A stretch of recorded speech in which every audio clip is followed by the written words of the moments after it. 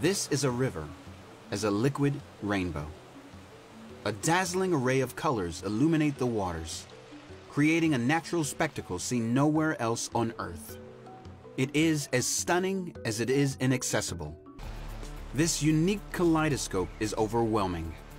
Known as the River of Five Colors, it combines prehistoric black rocks, vivid yellow sands, green mosses, and pure blue waters. But it is the seasonal appearance of red brought by a unique indigenous form of algae that really transforms the river.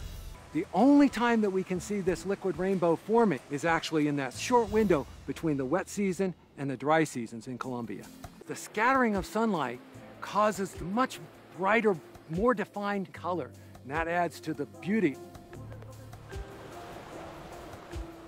The river extends for miles, revealing mesmerizing pools, waterfalls, rapids, and caves, a natural playground in a myriad of color, made possible by the weather.